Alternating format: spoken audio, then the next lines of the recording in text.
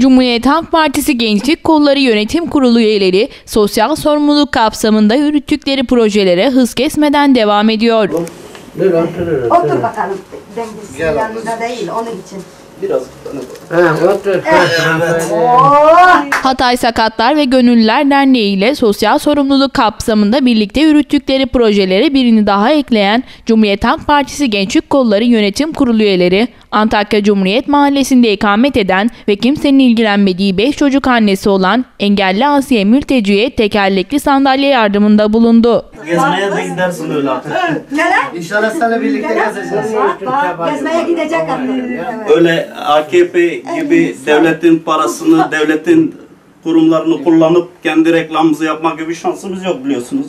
Cumhuriyet Halk Partisi Gençlik Kolları olarak sosyal sorumluluklarının bilincinde olduklarını aktaran Cumhuriyet Halk Partisi Merkez İlçe Gençlik Kolları Başkanı Ümit Kutlu, sosyal sorumluluk kapsamında ailemize ziyarete geldik. Birileri çıkıp ekonomi çok iyi diye bangır bangır bağırıyor. Ama biz her gittiğimiz evde, her gittiğimiz ailede yoksulluk ve mağduriyet görüyoruz. Kusura bakmasınlar bu kadar mağduriyet varken o ekonomi iyi değil batmış demektir. AKP dönemiyle Türkiye'de sosyal devlet anlayışı tamamen bitmiştir. Biz bu anlayışın karşısında daima dik duracağız ve elimizden geleni yapacağız dedi. Biz Sakatlar ve Gönüllüler Derneği ile birlikte birlikte hareket ediyoruz. Birkaç aile daha belirledik. Gerçekten mağdur olan birkaç aile daha belirledik.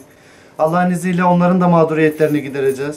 Ailelere gereken bütün yardımlar yapılacaktır. Bu anlayışın karşısında daima dik duracağız ve elimizden gelen ne varsa fazlasıyla yerine getireceğiz. Hangi eve geçtiysek ciddi sosyal sorunlar gördüklerini belirten Cumhuriyet Halk Partisi Merkez İlçe Gençlik Kolları Başkan Yardımcısı Hakan Karataş ise hükümetin nerede olduğunu merak ediyorum. AKP hükümetinin böyle vatandaşları neden görmezden geldiğini merak ediyorum ifadelerini kullandı. AKP zihniyetinin, AKP hükümetinin böyle vatandaşları nasıl görmezden geldiğini merak ediyorum. Yapılan konuşmalar ardından engelli vatandaş Asiye Mülteci'ye tekerlekli sandalyesi verildi.